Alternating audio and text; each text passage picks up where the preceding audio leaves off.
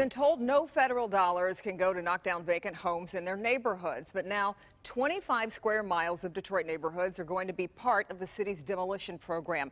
These areas that you see here that are shaded in blue represent some of the most blighted areas of the city and are now in line for some badly needed attention. Local 4's Guy Gordon talked with neighbors who have waited patiently.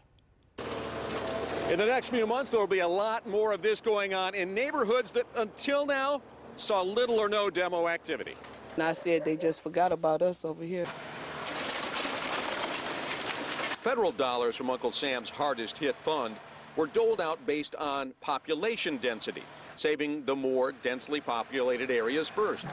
But now it's anticipated with this expansion, 1,200 blighted homes in the truly hardest hit areas will finally see attention. Thank goodness for that. That's good to hear. Only seven out of 30 homes on Kathy's block are occupied, the rest stripped or gutted. They need demo dollars badly, and Kathy says she'll feel safer with each eyesore that falls. How much safer will you feel if these get knocked down? A whole lot safer because then you can see what's going on. You know, especially now that summer's coming, all these weeds gonna grow back up, and then you're not gonna be able to see. And these houses are open. You walk past a house, then somebody jump out on you. What can you do?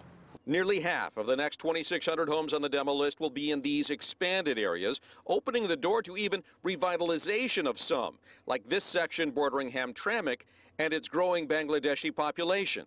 So this area a natural growth area. Again, there's there's a lot of vacancy. There's a lot of open lots over here, but the the houses that can be saved, there are already people working on some of them, and I think removing the blight just gives them more hope that the investment they're making, whether it be small or large, is going to pay off in the long run. And there is yet another big chunk of federal money coming our way. $180 million granted to the state of Michigan. We should find out in June how much of that will come to Detroit. 50 mil is the conservative estimate. That represents 4,000 more houses, blighted houses, that will go away. From Detroit's east side, I'm Guy Gordon, Local 4. Okay, Guy, and when the original federally designated zones were approved in 2013, only about 21% of Detroiters lived in the neighborhoods eligible for federally funded demolition, and now more than 90% of the city is eligible.